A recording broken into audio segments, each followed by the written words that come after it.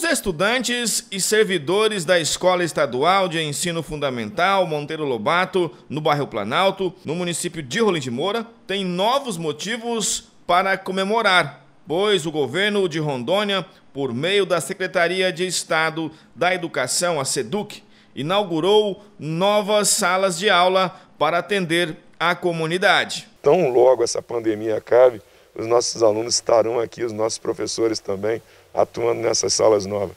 novas. Estava falando agora com as diretoras e elas felizes, porque estão todos muito ansiosos. Tem fila de espera para poder estudar nessa escola aqui. E isso é desenvolvimento, isso é muito bom. Professores, estudantes estão ansiosos para o retorno das aulas presenciais, porém ainda não há uma data definida. É o que eu sempre digo, a minha preocupação é proteger os nossos professores, proteger né, os servidores que trabalham na educação e também as famílias.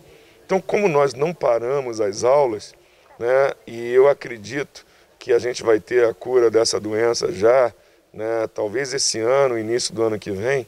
Então, quando nós tivermos a certeza que os nossos profissionais da educação estão seguros e a família dos nossos alunos, nossos próprios alunos estão seguros, aí sim eu posso assinar ou, ou, informar uma data. Hoje a escola Monteiro Lobato, aqui no município de Rolim de Moura, uma escola estadual, está inaugurando mais cinco salas de aula. O colégio hoje atende aproximadamente 185 alunos e com essas novas salas, né, elas vão contribuir para que a escola ofereça tanto para os professores quanto para os alunos melhor comodidade na hora das aulas. Sabemos a quantidade de pessoas, de habitantes que tem no bairro, então, assim, a gente já solicitou né, ao governo, e ele mais que rapidamente é, já dispôs de dinheiro, de financeiro, para que a gente pudesse construir essas cinco salas de aulas. E quando os alunos voltar, as salas estão aí.